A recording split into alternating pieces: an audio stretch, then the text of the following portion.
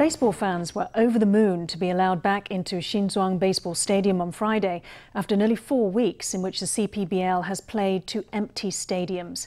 After careful deliberations, health officials decided it was safe for as many as 1,000 fans to enter the stadium, contingent on many hygiene restrictions. Fans were not allowed to eat or drink in the stadium and had to sit spaced out from each other.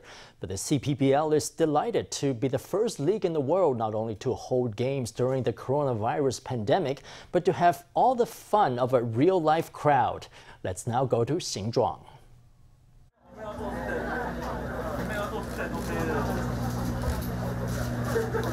Fans get their temperatures taken, use disinfectant gel, don entrance wristbands. The long awaited return to the stadium is here. 1,000 fans streamed into the Fubon Guardians Xinzhuang Stadium on Friday. Despite lots of hygiene restrictions, nobody was grumbling. If I can get in, then nothing is too much hassle. You have to wear a mask, you can't eat or drink, you have to socially distance, you can't leave your seat, and you have to sign a hygiene statement. It's a special time and we really have to play our part. It's been so long since we could watch a game, so I feel it's really precious. The CPBL season opened on April 11, but with stadiums shut to fans. Online streaming brought in viewers from all around the world as Taiwan was the only country with pro baseball still playing. Now on Friday, the CPBL is the first league to reopen to fans since the pandemic began.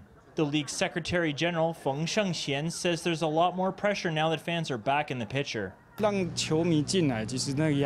There's more pressure if we let the fans in compared to having the games closed. It means we have to be very careful about every step of the operation. If we do well, if this demo goes well, then other games can also gradually be open to fans.